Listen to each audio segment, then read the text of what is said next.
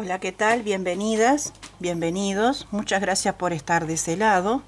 La propuesta de este día es hacer un nuevo chaleco comodín, porque ya hicimos uno, pero este está hecho en otra puntada.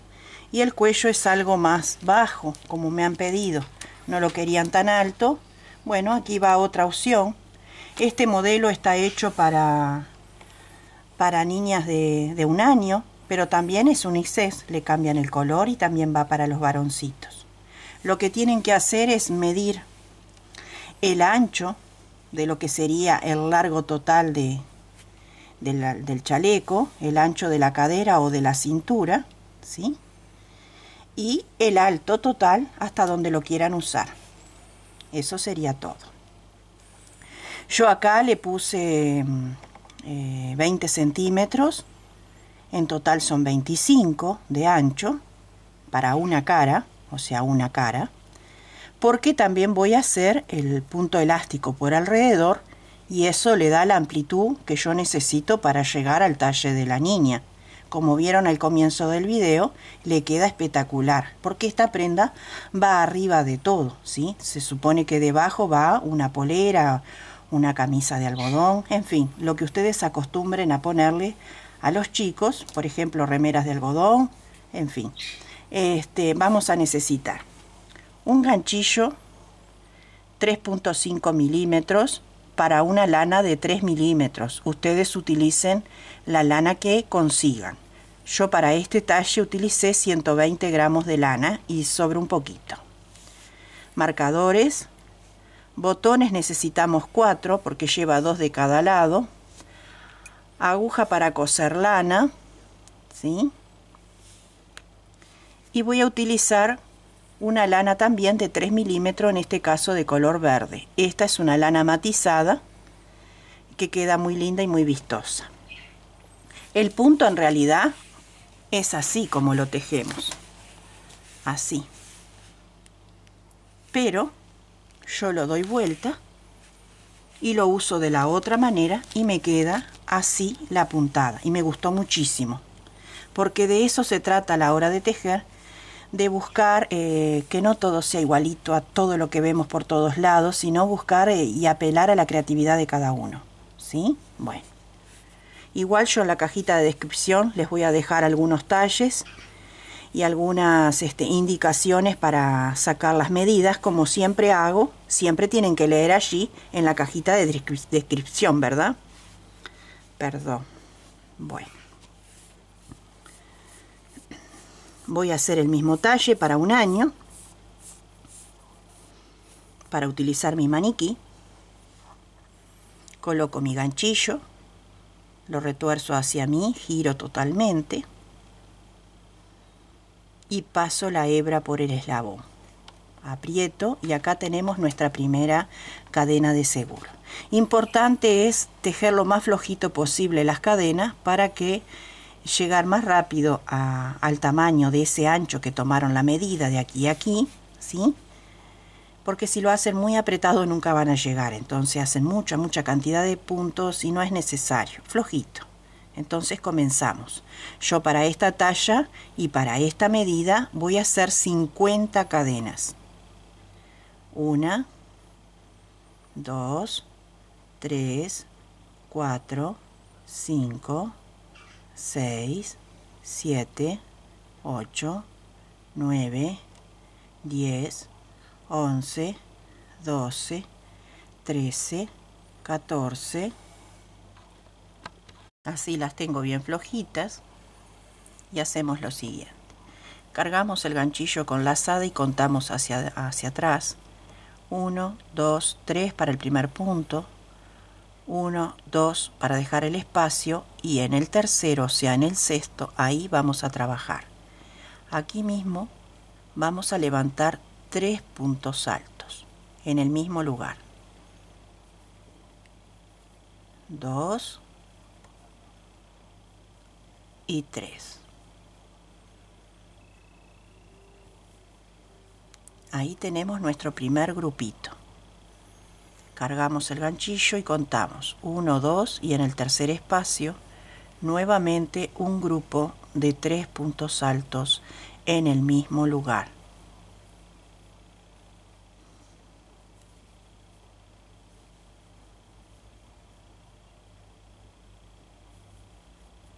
Y ahí tenemos el segundo. Cargamos y contamos. 1, 2 y en el tercer espacio otra vez hacemos el motivo. Recuerden tres puntos altos en la misma cadena de base. Así vamos a hacer hasta llegar al final. Me quedaron 15 grupitos de 3 para que tengan como referencia. Como empezamos, que fue con tres cadenas para el primer punto, vamos a terminar también con un punto alto al final.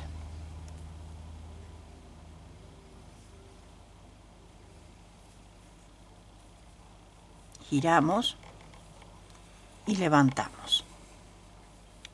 Tres cadenas para el primer punto. Y aquí mismo no vamos a tejer porque si no se nos va para afuera y no nos va a quedar recto. Entonces, en este huequito que nos quedó acá, hacemos los dos puntos altos que faltarían para completar el grupo de tres, aquí dentro. Aquí. Entonces tenemos el del inicio sobre el punto alto con las tres cadenas y los dos de acá el primer motivo y ya queda derecho. Ahora nos vamos al huequito entre grupo y grupo y realizamos un nuevo motivo.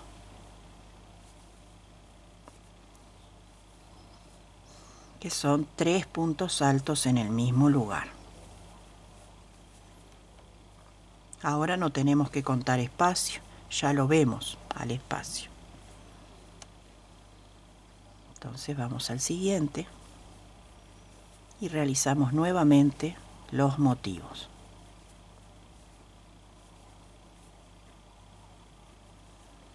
siguiente.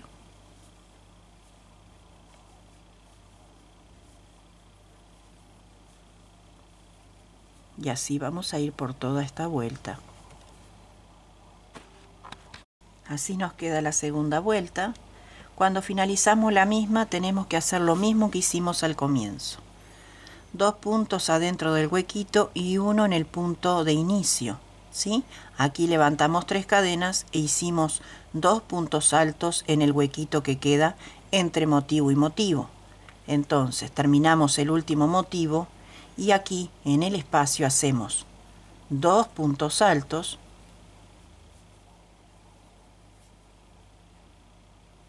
¿sí? Y el tercer punto que corresponde al motivo en la tercera cadena de inicio ahí entonces nos queda igualito. Y esto es lo que vamos a repetir siempre hasta tener el largo deseado. Levantamos nuevamente tres cadenas para el primer punto y aquí no tenemos huequito. Entonces cargamos el ganchillo y nos vamos a este huequito. Así. Y ahí mismo hacemos los tres puntos altos en el mismo lugar. ya aquí quedó las tres cadenas para el primer punto y quedó, eh, ya formado el huequito, que es donde vamos a trabajar en la vuelta que viene los dos puntos altos juntos, aquí, y las tres cadenas de inicio aquí. Recuerden eso, miran la vuelta anterior y se van a dar cuenta. Y así vamos a ir recorriendo nuestro tejido, llenando los espacios vacíos con los tres puntos altos. Es un punto muy fácil y muy bonito, el cual no lo vamos a usar así, sino lo vamos a usar así que queda mucho más lindo.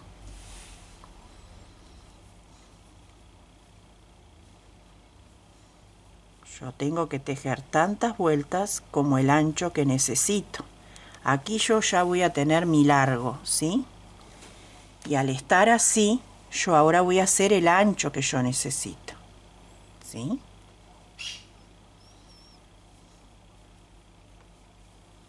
Si no tienen a la niña, al niño para probar o sacar medidas, consigan una prenda y a la misma prenda le sacan las medidas y van viendo. Recuerden que si es una prenda que va por debajo, tienen que dejarle un centímetro, un centímetro y medio de margen, porque esto es una prenda que va por encima. Por ende tiene que quedar un poquito más holgada. A los niños no hace falta ponerles todo tan grande, sino más bien justo al cuerpo para que ellos tengan movilidad y les quede bonito. Porque si no todo les queda grande, quedan embolsados.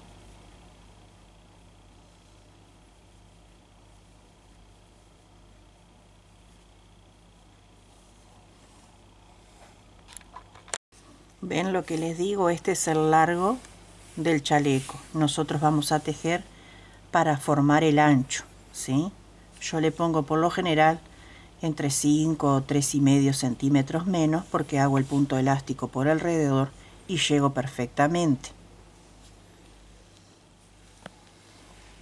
Empezamos de una manera que era tres cadenas para el primer punto y no íbamos al hueco inmediatamente. Terminamos con los tres puntos en el hueco y nos vamos a hacer el punto alto en la tercera cadena de inicio. Y nos queda igual. ¿Ven?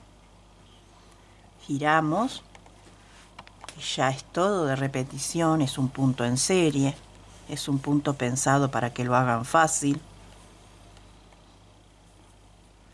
Tres cadenas para el primer punto y en el hueco aquí hacemos los dos puntos altos teniendo en cuenta la vuelta anterior, ¿ven? Que está igual.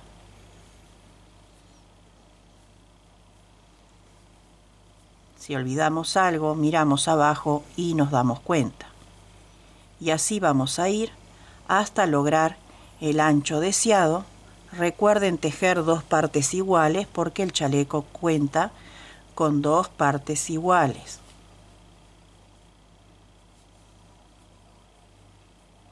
por ahora son individuales, luego las vamos a unir y ya trabajaremos con la pieza entera.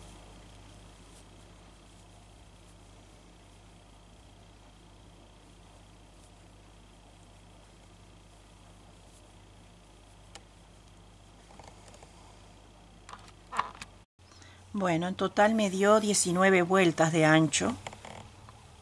Tomen nota por si van a hacer el mismo talle y con el mismo tipo de lana y el mismo tipo de aguja. Antes de cortar el hilo levantamos una cadena y aquí mismo hacemos un punto bajo. Vamos a hacer esto para poder unir sin que se note nada.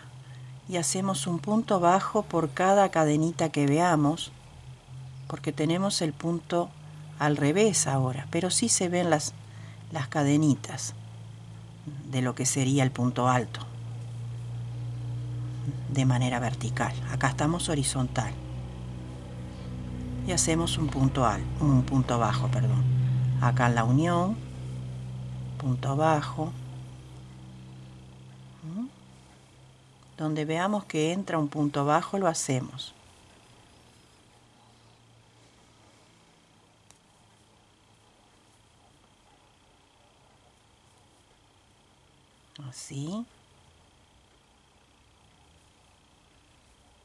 Hacemos esta parte y la otra de igual manera y cortamos el hilo y vamos a unir los hombros.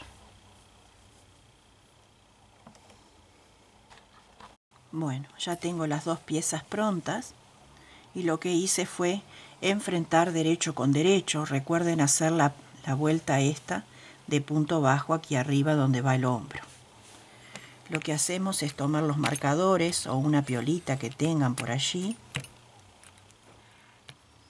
Un besito Liliana Orgea. Amiga querida, gracias. Y marcamos, por ejemplo, acá. Yo ahora lo voy a sacar porque yo sé a dónde voy a ir. Y le vamos a dar hasta acá, más o menos. Que serían dos dibujos dos dibujitos, ¿sí? Tenemos el inicio, por lo general son 5 centímetros, entre 4 y 5 centímetros. Dos dibujitos están bien, para ellos son los marcadores. ¿Sí? Chequeamos y ahí tenemos nuestro, nuestro hombro marcado. Yo voy a sacar porque a mí me molesta, porque es mi inicio. Y con un... bueno, se me perdió. Aquí. Con una aguja más fina voy a unir el hombro. ¿Por qué aguja un poco más fina? Para que el hombro no me quede flojo la costura. Vamos a hacer punto deslizado. Estas piolitas después se esconden. Vamos a hacer punto deslizado para cerrar el hombro. Agarramos los dos puntos, lo pasamos, hacemos una cadena extra ahí para apretar y volvemos a meternos en el mismo lugar, ahí.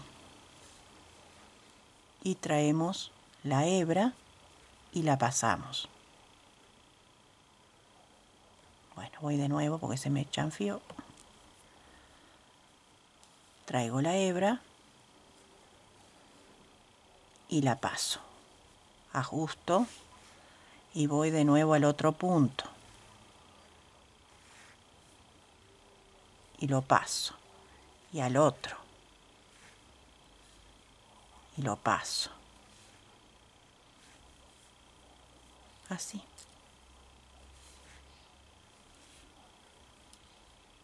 También lo pueden coser si quieren. A mí me gusta como queda así. Y así van a ser los dos hombros de igual manera.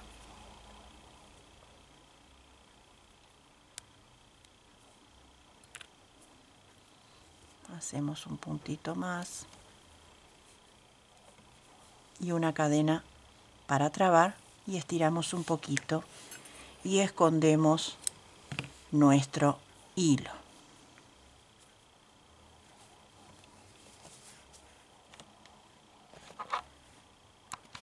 Bueno, ya lo tenemos unido y esta es la abertura de la cabeza, ¿sí? El chaleco va así, entonces, tomamos por cualquier extremo.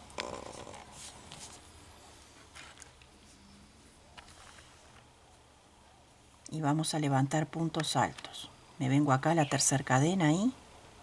Y levanto el primer, eh, las primeras tres cadenas para el primer punto alto. Tres cadenas. Acá en el espacio no hacemos nada porque si no agrandaría la prenda. Hacemos por cada punto alto un punto alto y a su vez vamos escondiendo la piolita. Esta vuelta vamos a revestir los puntos. Así. Recuerden que aquí nada.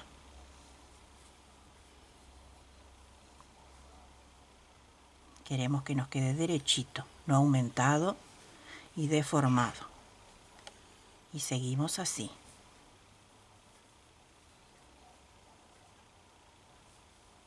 Cuando llegue a la otra esquina, yo regreso con ustedes para mostrarles lo que hago para girar y darle cierta redondez a nuestro tejido.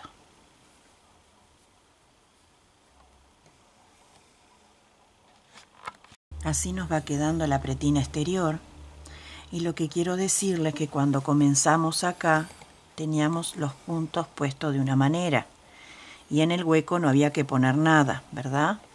pero ya acá está distinto. Entonces, acá, en, el medio del grupo de tres, va uno. ¿Sí? Y acá, en este espacio, van dos en las cadenas. Uno y dos. Según como veamos el motivo, es como vamos a rellenarlo. Aquí va uno solo y aquí va uno,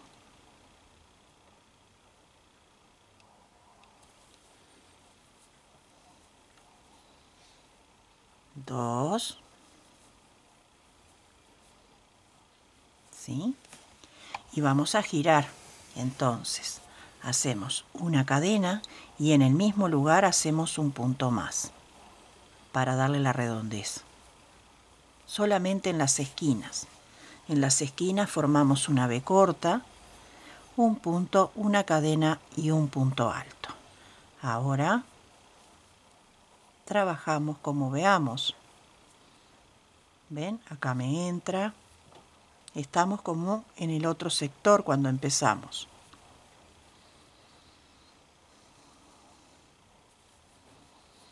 Por cada cadenita o eslabón, un punto alto.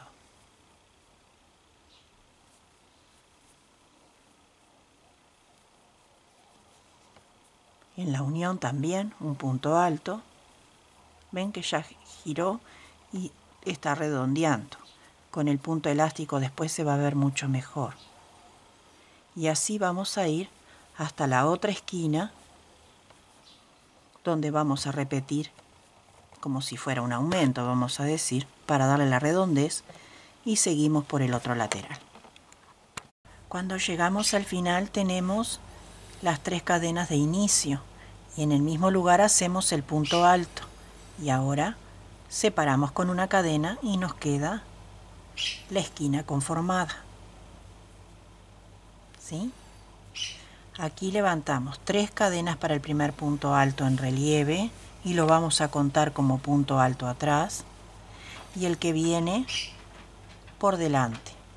Cargamos el ganchillo y nos cruzamos así, estiramos y lo pasamos dos veces al punto alto.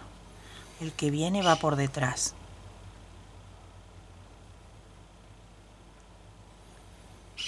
Así y estiramos bien a la altura del otro y lo realizamos tal cual.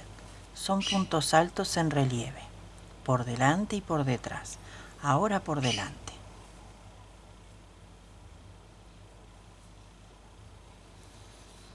Por detrás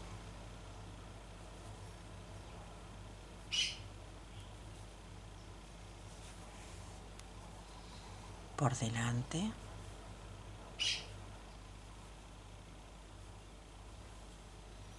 Atrás.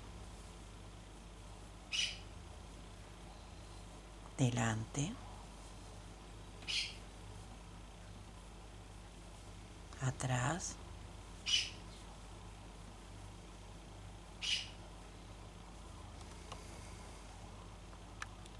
Bueno tenemos hecha la primera parte de la, la pretina con el punto elástico y cuando llegamos a la esquina también tenemos que redondear la esquina. Entonces acá me toca punto, bajo, eh, punto atrás, en este. ¿Sí? Y antes de llegar acá, tengo que hacer una cadena. Esta es la redondez que hago. y ahí me toca por delante. Acá tenemos los dos puntos que tejimos en la vuelta anterior juntitos separados por una cadena. Y acá también, ¿sí? Solamente que están agarrados de manera diferente. Volvemos a hacerlo. Aquí tenemos los dos, ¿sí? Y entonces, para darle forma a la esquina, este toca por detrás separamos con una cadena y el que sigue toca por delante. De ahora en más continuamos como, como veníamos, uno por delante y uno por detrás, hasta llegar a la esquina y repetir lo que acabo de hacer. Así. Uno sí, uno no. Uno por delante y uno por detrás.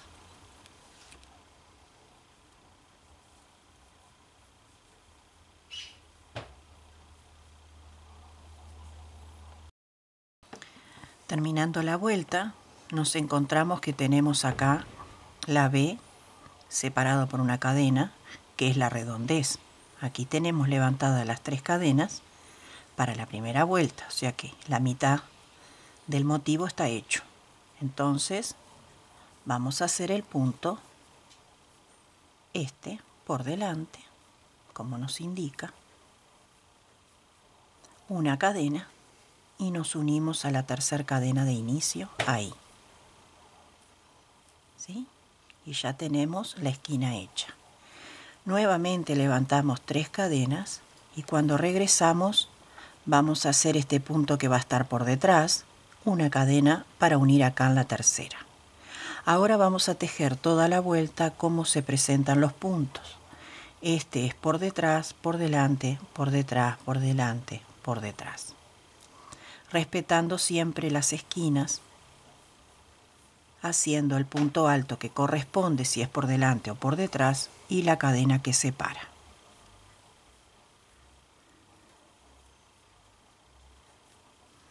Yo voy a hacer una vuelta más y voy a ver si llego a mi tamaño. Y si no, tendré que hacer otra. Ustedes vean en el talle que ustedes van a tejer con las indicaciones que les di para elaborar cada uno. Así. Lo que está por delante lo hacemos por delante.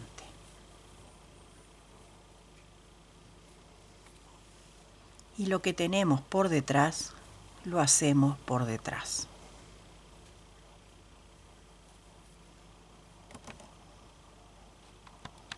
Bueno, yo ya lo terminé ahí. Acá tenemos la abertura para la sisa. Recuerden que esto se pone y se saca por arriba. No hay que desprender botones. Le dejé 13 centímetros de abertura. Coloqué marcadores. Dejé 5 espacios libres de puntos y otra vez el marcador para el botón enfrentado, ¿sí? Para pegar el botón lo que tienen que hacer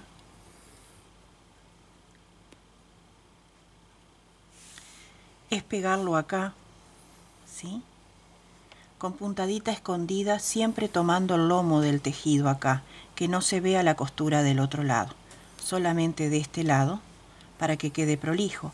Y el mismo punto es el que prende el botón, sea grande o sea pequeño, ¿sí? Bueno, ahora vamos a retomar de nuevo con la parte de, vamos a retomar de nuevo el tejido quiero decir, la parte del cuello. Vamos a levantar todos los puntos. Entonces comenzamos por aquí.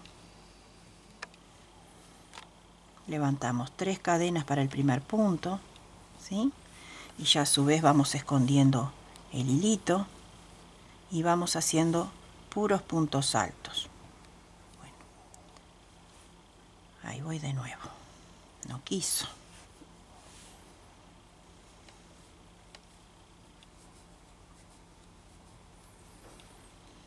Puntos altos.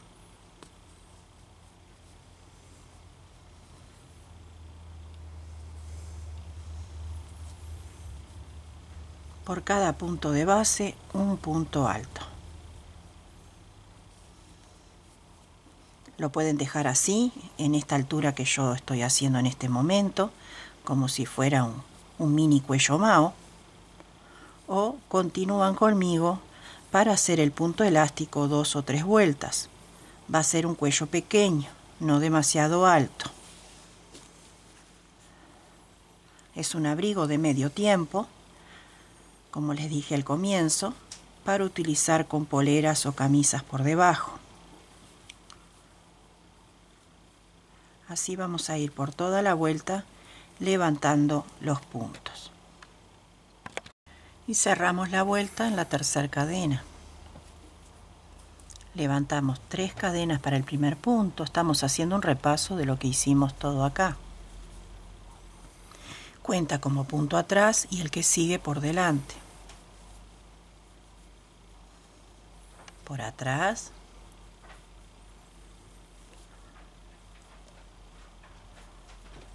Por delante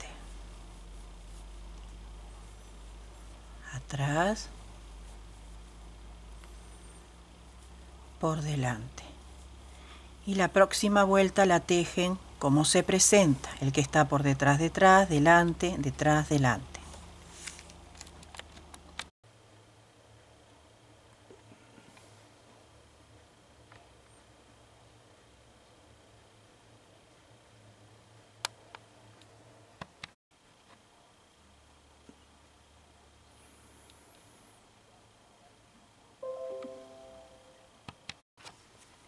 Queridas amigas, amigos, llegamos al final del tutorial.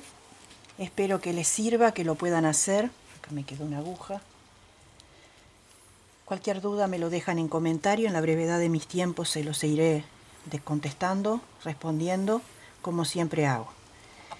No se olviden de compartir en sus redes sociales para llegar a más personas, compartir entre sus amigos, este, invitar a que se sumen al canal para que cada día sean más los que puedan beneficiarse con estos tutoriales. Tutoriales que son sencillos, son económicos y le da la posibilidad de trabajar desde casa y aquellos que ya tienen un stand este, o tienen potenciales clientes, es una ayuda más, una creatividad más, una idea más para desenvolverse económicamente. Y donde sea que tú te encuentres, no importa cualquier rincón de este planeta mundo, aunque no nos conozcamos ni nunca nos vayamos a ver, desde el fondo de mi corazón, de una manera de agradecer, te bendigo con paz y bien, y que todo lo que sueñas y anhelas se haga realidad. Hasta un próximo encuentro, amigos.